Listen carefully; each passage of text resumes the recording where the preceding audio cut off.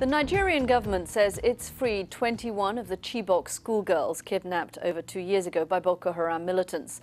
The release came as a result of negotiations brokered by the Swiss government and the International Committee of the Red Cross. But there are conflicting reports about the terms of those deals. For more on this release, I'm joined now by Peter Pham, the director of the Atlantic Council's Africa Centre.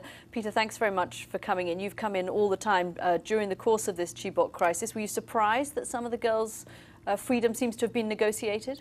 Well, negotiations have been going on and off, not only during the current administration of President Muhammadu Buhari, but also there were attempts made during the previous administration of President Goodluck Jonathan. So the Nigerian government has sought to bring these girls back. What's been interesting this time has been that there's no quid pro quo, at least that we're aware of. The government has officially denied exchanging any prisoners. Uh, and that would be an interesting step. It's, it will say something about Boko Haram if they're willing to give up uh, these hostages for, for nothing. for nothing. On the other hand, one has to also be attentive. The fact that they could still, even with the military defeats that they've suffered in the last year and a half, still keep these girls together and produce 21 of them.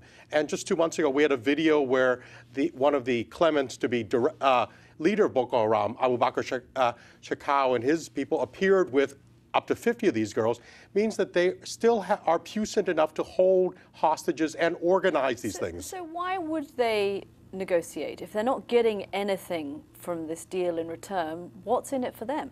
Well, that remains to be seen. Now, what was very clear, we have to parse the government statement. There were no prisoners exchanged. Right. But they we may do be know getting something else. They may be getting something else, whether it be money, whether it be food, because there's a severe uh, food shortage in the area caused in part by Boko Haram's depredations, but also because of the military campaign against them. So that may be an issue as well. Put this in context, Peter, how much territory have Boko Haram lost since uh, the Chadians and the Cameroonians got involved in fighting against them? Certainly. A, a year and a half ago, Boko Haram held an area roughly the size of Belgium, Luxembourg, perhaps the Netherlands thrown in. So a fairly sizable territory.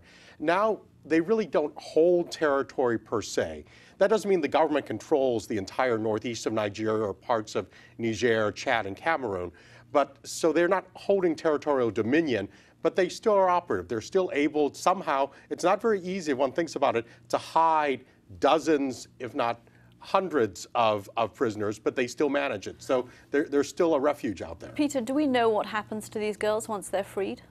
Well, these girls will be brought, as the government has said, uh, to a multifaceted, integrated unit of medical uh, attention, but also psychiatric, psychological, and other therapy. So they're, they're, they're given care, and I applaud the Nigerian government for doing. These specific girls, these 21 are being brought from Borno State to Kaduna, uh, one of the regional centers in the north, and eventually will be brought to Abuja.